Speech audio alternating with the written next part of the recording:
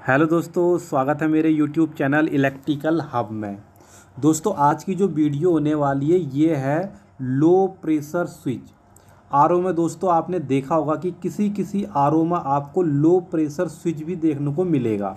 तो यहाँ पर आप सीखेंगे कि ये लो प्रेशर स्विच काम कैसे करता है। ये हमारे आरओ पे क्यों लगा होता है। अगर ये ख़राब हो जाए तो हमारे आरओ पे क्या फॉल्ट आएगा। तो यहाँ पे हम इन चीज़ों को यहाँ पे सीखेंगे स्टेप बाय स्टेप। तो वीडियो में बने रहें। अगर दोस्तों वीडियो अच्छी लगती है तो वीडियो को लाइक और चैनल को सब्सक्राइब कर देना। साथ में बेल आइकन का बटन दबा देना, जिससे होगा क्या मेरे आने वाली वीडियो की नोटिफिकेशन आपको मिल जाएँगी।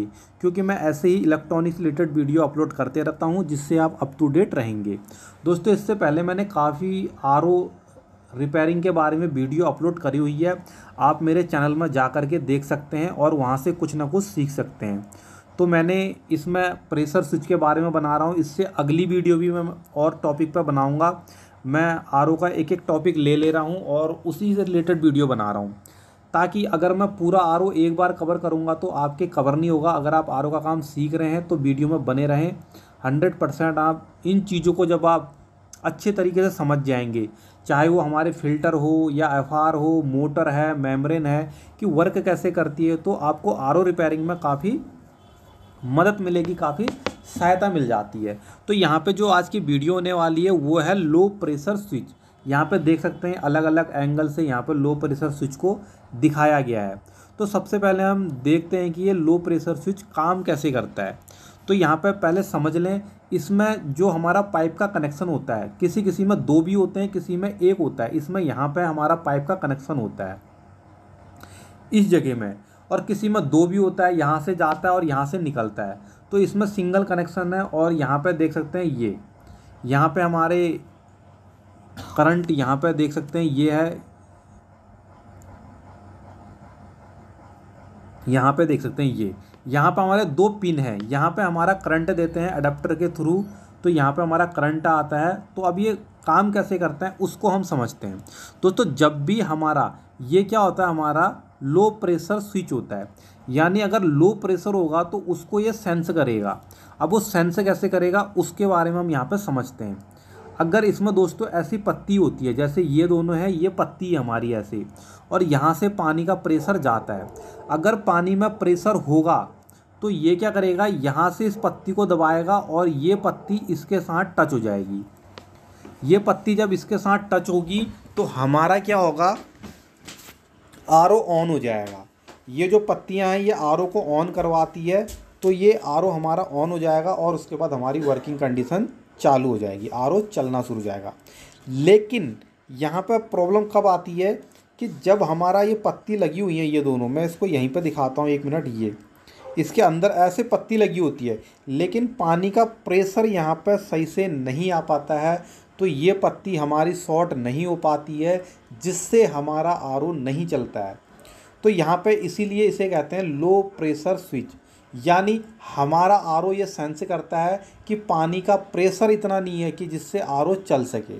और आरओ का सर्किट हमारा ऑन नहीं हो पाता है, इसलिए हम किसी किसी आर में आपने देखा होगा कि ये लो प्रेशर स्विच लगा हुआ होता है। कैंट के आरओ में आपने देखा होगा। तो यहाँ पे ये इसका कनेक्शन कैसे होता है, उसके बारे में मैं यहाँ पर डिस्कस करेंगे और कहाँ पर इसका कनेक्शन करना चाहिए। तो दोस्तों, यहाँ पे समझते हैं कि जब भी आप लो प्रेशर स्विच को यूज़ करें तो आपको क्या चाहिए होगा? एक तो आपको लो प्रेशर स्विच चाहिए होगा और एक टी चाहिए होगी। अगर ये दोनों होंगे तो आपका ये कनेक्शन हो जाएगा। यहाँ पे ये देख सकते हैं, ये हमारी टी है, यहाँ पे दो हमारे थिम्बल हैं, जो कि इसके साथ अटैच होंगे और साथ में एक टी आई है। यहाँ पे देख सकते हैं। तो अब हम इसका कनेक्शन कहाँ पे करेंगे, उसके बारे में हम डिस्कस करते हैं। तो सबसे पहले दोस्तों, यहाँ पे देखते हैं टोंटी का पानी यहाँ पे हमारा इन होता है। और यहाँ से हमारा आउट होता है, ये। यहाँ से इन होता है, यहाँ से आउट होता है। उसके बाद हमारा, ये देख सकते हैं, यहाँ पे सेडिमेंट फ़िल्टर है ये। यहाँ पे सेडिमेंट फ़िल्टर है। यहाँ से इस पर इन होता है, यहाँ से आउट होता है। उसके बाद हमारा देख सकते हैं कार्बन फ़िल्टर है प्री कार्बन फ़िल्टर है, फिर उसके बाद सेडिमेंट से कार्बन फ़िल्टर पे जाता है और कार्बन फ़िल्टर से निकल करके आगे हमारा एस वी सोलोनेट वॉल्व पे ये जाता है। एस वी पे ये चले जाता है। उसके बाद मोटर में जाता है और भी फ़िल्टर लगे हैं तो उन पर जाता है। तो हम इसको कहाँ पर लगाएँगे? प्रेशर स्विच को। तो यहाँ पर हमारा ये है। तो दोस्तों, यहाँ पर होगा क्या? अगर आप प्रेशर स्विच को यहाँ पर टी लगा देंगे, सपोज़ करो आपने यहाँ पर टी लगा दिए टी लगा करके इसमें डाल दिया तो आप यहाँ पे भी प्रेशर स्विच को लगा सकते हैं। और अगर यहाँ पे नहीं तो यहाँ पे आप टी लगा करके इसके साथ लगा सकते हैं तो यहाँ पे भी ऐड कर सकते हैं। तो आपके लिए बेस्ट ऐड ये कहाँ पे हो सकता है, उसके बारे में मैं बताऊँगा। दोनों जगह लग सकता है, ऐसा नहीं है कि आप यहाँ पे नहीं लगा सकते या यहाँ पे नहीं लगा सकते या यहाँ पर लगा सकते, यहाँ पर लगा सकते हैं। दोनों में से कहीं पे भी लगा सकते हैं। तो मैं यहाँ पे कुछ आपको बताता हूँ, आपको खुद डिसाइड करना पड़ेगा कि प्रेशर स्विच आपने इस जगह पे टी लगा करके ऐसे लगाना है या प्रेशर स्विच यहाँ पे को टी लगा करके ऐसे लगाना है। तो यहाँ पे समझो, अब प्रेशर स्विच का प्रेशर इस पर कब कम आएगा? जब हमारा कोई फ़िल्टर ब्लॉक हो जाएगा, पानी वो कम छानना शुरू करेगा तो वहाँ पर हमारा काम आएगा। तो यहाँ पे, अगर हम सपोज़ करो यहाँ पे प्रेशर स्विच को लगाते हैं, यहाँ पे टी लगा देंगे और प्रेशर स्विच को हम यहाँ पर लगाते हैं। तो होगा क्या? जैसे ही हमारा इस ये वाला फ़िल्टर अगर ठीक होगा, यहाँ से पानी हमारा आगे बढ़ेगा, उसके बाद इस फ़िल्टर से आगे निकलेगा। उसके बाद इस फ़िल्टर से जब निकलेगा, अगर इस पानी का प्रेशर सही होगा, जिससे हमारा प्रेशर स्विच ऑन हो जाए तो अगर प्रेशर स्विच ऑन हो जाता तो आरओ हमारा रन करेगा। लेकिन अगर ये फ़िल्टर ब्लॉक है, इससे पानी बहुत कम आ रहा है तो यहाँ से ये इसमें भी पानी जा रहा है और यहाँ से हमारा प्रेशर स्विच में भी जा रहा है।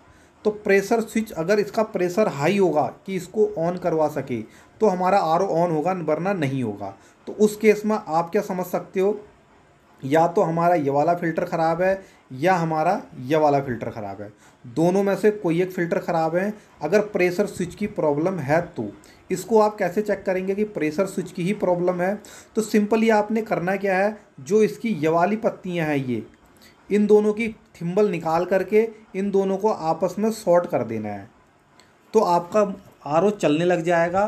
तो इसका मतलब ये है कि हमारा प्रेशर स्विच का फॉल्ट है और यहाँ पे हमारा कोई फ़िल्टर ब्लॉक हो रहा है हल्का हल्का, जिस कारण हमें प्रेशर पूरा मिल नहीं पा रहा है। और सेकंड चीज़, अगर आप फ़िल्टर को यहाँ पे यूज़ करते हैं एक मिनट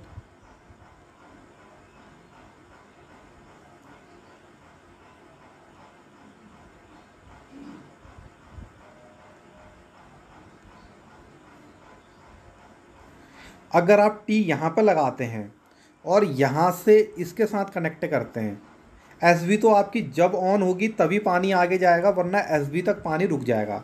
उसके बाद पानी आपका यहाँ से जाएगा, यहाँ से जाएगा, यहाँ से आगे बढ़ेगा एस पर रुक जाएगा। जब प्रेशर स्विच पर करंट जाएगा प्रेशर जाएगा प्रेशर स्विच ऑन होगा, उसके बाद एस से आगे पानी जाएगा, वरना नहीं जाएगा। अगर आप यहाँ पर टी लगाते हैं तो क्या होगा आपका? अब आपको यहाँ पर तीन फिल्टरों का यहाँ पर वेरिफिकेशन करना पड़ेगा कि कौन सा फ़िल्टर हमारा ब्लॉक है। यानी प्रेशर स्विच आपको तीन फिल्टरों के इंडिकेशन बता सकता है। उसमें आपका एक मिनट, ये भी हो सकता है, ये भी हो सकता है, ये भी हो सकता है। यानी प्री फ़िल्टर भी हो सकता है, कार्बन भी हो सकता है, सेडिमेंट फ़िल्टर भी हो सकता है। ये तीन फ़िल्टर आपके हो सकते हैं, जिन्हें हम प्राइमरी फ़िल्टर भी कह सकते हैं। तो हम जो प्राइमरी फ़िल्टर होते हैं, उनको यहाँ पे चेक करेंगे। अगर हमारा आर ऑन नहीं होता है तो हमारी प्रेशर स्विच का प्रॉब्लम हो सकता है। और इसके जब हम थिम्बल निकालेंगे, ये थिम्बलों को, इन दोनों को जब हम आपस में शॉर्ट करेंगे तो आरओ हमारा चलने लगेगा एस वी वॉल्व ऑन हो जाएगी मोटर ऑन हो जाएगी, और ये हमारा रन करेगा। तो इसका मतलब ये है कि प्रेशर स्विच हमारा ख़राब है। उसके बाद क्या करेंगे हम, सिंपली यहाँ पर से इस पाइप को निकालेंगे, और उसके बाद पानी जो आएगा, उसका प्रेशर देखेंगे। अगर बहुत कम आ रहा है तो उस केस में आप देख सकते हैं कि फ़िल्टर साफ़ करके काम बन जाता है या चेंज करने पड़ते हैं। तो आप वहाँ पर साफ़ करना है तो साफ़ कर सकते हैं, चेंज करना है तो चेंज कर सकते हैं। आपका प्रेशर आ जाएगा, जिससे आपका प्रेशर स्विच ऑन हो जाएगा। लेकिन प्रेशर स्विच को चेक करने से पहले आप इस तरीके से भी चेक कर सकते हैं कि यहाँ पर जो इनलेट होता है, इस पाइप को हटा करके, यहाँ से हटा करके इस पाइप को सीधा यहाँ पर डाल दें, प्रेशर स्विच पर तो आपका आरओ ऑन हो जाना चाहिए। इसका मतलब ये है कि हमारा प्रेशर स्विच सही है। यानी प्रेशर स्विच हमारा यहाँ पे सही है, बस पानी का प्रेशर नहीं आ रहा है। अगर आपका यहाँ पे मैं इसे काट देता हूँ, अगर आपका इनपुट पर जो लाइन जा रही है, ये पाइप आपने यहाँ से जोड़ के इसके साथ कनेक्ट करा, लेकिन आरओ हमारा ऑन नहीं होता है तो इसका मतलब ये है कि हमारा प्रेशर स्विच यहाँ पर ख़राब हो चुका है। तो यहाँ पे हमें नया प्रेशर स्विच लगा सकते हैं।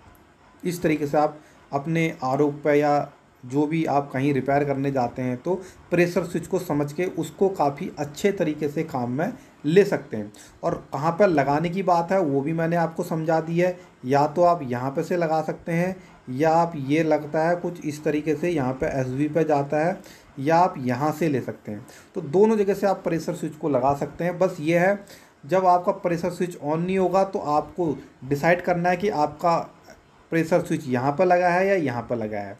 उस हिसाब से आप उन फिल्टरों को क्या करेंगे? चेक करेंगे कि हमारे एक फ़िल्टर चेक करना है, दो चेक करने या तीनों चेक करने हैं। बस यहाँ पे ये फ़र्क है।